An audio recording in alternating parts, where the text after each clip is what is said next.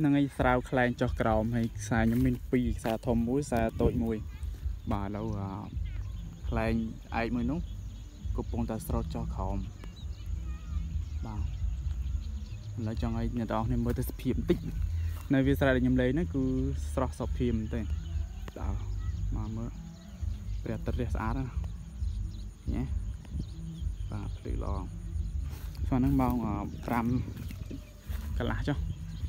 មានម៉ោងស្មានមើលហើយទូរស័ព្ទឡាយថតនឹងមកមើលម៉ោងមិនទេមកឲ្យព្រះអាទិត្យលិចណា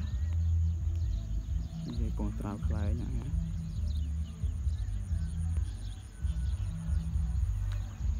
បាទពងស្រែខ្លែងឯងអូវាមានខ្យល់តែយើងលេងតែមួយថ្ងៃដែរអញ្ចឹងជាសម្រាប់ទៅស្អែកមើលខ្លែងអផាយហោះពេញមេឃបាទខ្លែងចោះមកនេះហុំមក នោះគាត់កំពុងស្នើខ្លែងចោះបាទថ្ងៃថ្ងៃថ្ងៃសៅរ៍តែខ្យល់ធ្លាក់ដូចធ្លាក់ដូចខែកដឹកអញ្ចឹងដូចខែល្ងាអញ្ចឹងធ្លាក់គាត់ខ្លែងទៅលើអញ្ចឹងអញ្ចឹងអញ្ចឹងអញ្ចឹងអញ្ចឹងនិយាយថាយើងសប្បាយតែខ្លែងឯកលេងខ្លែង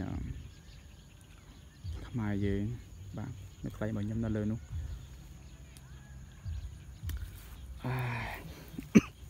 ញ៉ាំឲ្យលេងច្រើនលេងឡើងលេងផាក់ទឹកលេងខាស់កបន្តិច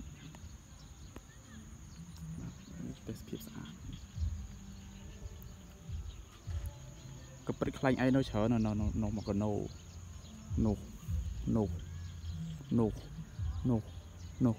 បើថ្ងៃមិញបងប្អូនអើយចង់20ខ្លែងតែ50ខ្លែងឥឡូវគាត់កំពុងព្យាយាមតាក់ខ្លែងនៅលើនោះឲ្យធ្លាក់ចុះមក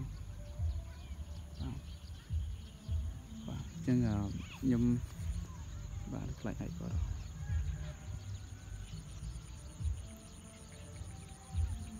ហ្នឹងហើយ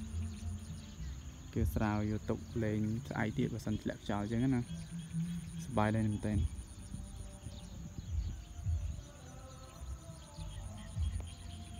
ឡងមួយស្អាត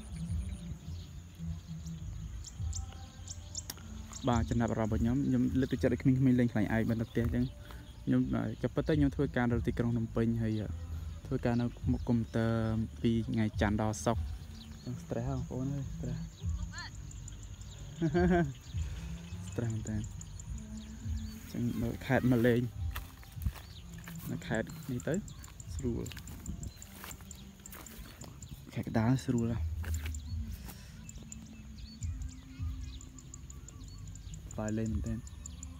បាទ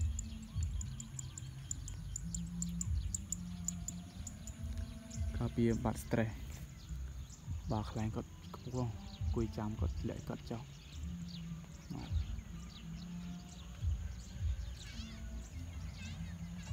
ហើយ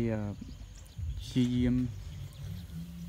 កុំលេងទូរស័ព្ទលេងច្រើនពេកវាអត់សូវល្អអញ្ចឹងចុះប្រវត្តិនៅឆ្លៀតយកខ្លែងនៅលើថ្នោតទៀត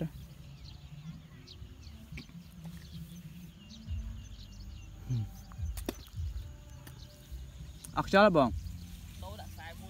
មួយវិញតែវាខ្យល់ខ្លាំងពេកខ្យល់ខ្លាំងពេក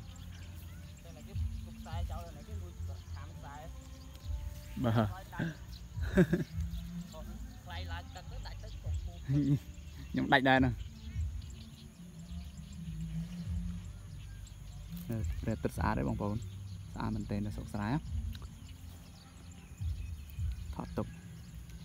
ស្អាតមែនទែនយើងយើងមកស្រស់ស្រាយនៅកន្លែង វាស្រែអញ្ចឹងធ្វើឲ្យ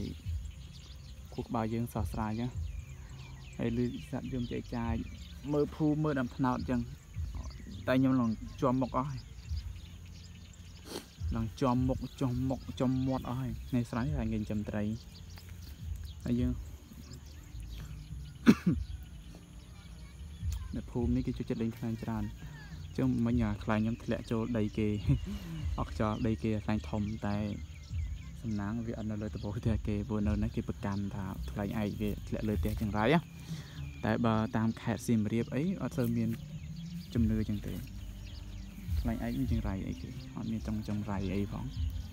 វាគ្រាន់តែធ្វើពីអាស័យពីថងពីកស៊ូពីកណាត់ឬក៏ពីអឺជោអីចឹងនឹងវីដេអូនេះខ្ញុំចង់និយាយចំណារអារម្មណ៍ការលេងខ្លែរបស់ខ្ញុំនៅវាលស្រែ បងប្អូនទាំងអស់គ្នាស្ដាប់ឮចេកអឺចាប់យំចេកចាយហ៎បាទហ្នឹងហើយហើយអឺព្រះអាទិត្យកំពុងលិចទៅយ៉ាងស្អាតអឺទីតាំងដែលខ្ញុំឈរជើងកំពុងតែអង្គុយនេះនៅអឺខេត្តកដាលខេត្តកដាលហើយនៅអឺស្អាងបាទគាត់កំពុងព្យាយាមយកខ្លែងឯកទៅលើអាថ្នោតបាទខ្ញុំ មកពីនៅពុពុតនៅពុពុតពាក់ស្រងពាក់កម៉ាបាទចាំមើលស្អែកបើសិនជាមានខ្យល់ទៀតគឺអេមហើយលេងទៀតថតអ្នកនរគ្នាមើលទៀតបាទហើយខ្សែខ្ញុំប្រើនេះអាខ្សែធំនោះខ្ញុំប្រើសម្រាប់ខ្លែងធំអាខ្សែនេះទូចសម្រាប់ខ្លែងទូចអញ្ចឹងណាបាទនៅព្រះអាទិត្យលេចបងប្អូនណាស្អាតណាស្អាតទេស្អាតមែនតើស្អាតណានេះភូមិតាណូភូមិស្អីភូមិស្អាងខ្ញុំនៅនឹងយូរហើយតែមិនដឹងស្គាល់ភូមិស្អីទេភូមិទូសាឡាភូមិទូសាឡាអូមកគាត់យកខ្លែងអ่ะតែនៅលើដើមថ្កូវក៏អត់ដើមថ្កូវដើមត្នោតអីនិយាយខុសទៀតបងប្អូនតែមកជាស្រ័យណាបាទខ្ញុំលេងខ្លែងនៅនេះ អឺព្រឹកតាំងពីព្រឹកម៉ោង8រហូតដល់ម៉ោង4ម៉ោង5ហ្នឹងនេះងាត់ហ្នឹងហើយក៏ទិញខ្សែមកលេងហ្នឹងហើយវីដេអូខ្ញុំមានតែប៉ុណ្្នឹងទេកុំភ្លេចជួយ Subscribe Channel របស់ខ្ញុំទៅជាពិសេសបងប្អូនខ្មែរដែលនៅស្រុកក្រៅបាទអាចមើលទស្សនវិជ្ជាអឺ សុខស្រាយបានហើយអឺមាន channel ផ្សេងទៀតដែរល្អល្អបាទអាចមើលគេផ្សេងបានបាទខ្លែងហ៎បាទមើលរបៀបណាយកខ្លែងហ៎យកអញអញលយដំណើរលយអាវេយកបាត់ហើយអត់យកពីយកខ្លាយនៅបានយក បាត់ដល់បើក្មេងនៅសុកសាយស្គាល់ខ្ញុំច្រើនស្គាល់ខ្ញុំតែខ្ញុំសោះស្គាល់ពួកគាត់មិនទេស្គាល់ឈ្មោះខ្ញុំច្រើនណាស់តែនៅទីនេះគេហៅរហូតចឹងខ្ញុំអ្នកនៅទីមជ័យទេបើតែបានប្រពន្ធអ្នកខេត្តកដាលចឹងទៅអ่าញ៉ាំសៅរ៍ទឹកចេញពីធ្វើការពីភ្នំពេញមកផ្ទះមកផ្ទះទៅថ្ងៃនេះក៏ធ្លាក់ខ្ញុំក៏បោះខ្លែងទៅហើយរត់ដល់ខ្ញុំលេងលេងឡានដេកចុចទូរស័ព្ទលេងចឹងតែខ្ញុំអត់ចង់ចុចទូរស័ព្ទទេ ខ្ញុំចង់ចំណាយពេលជាមួយធម្មជាតិច្រើនជាង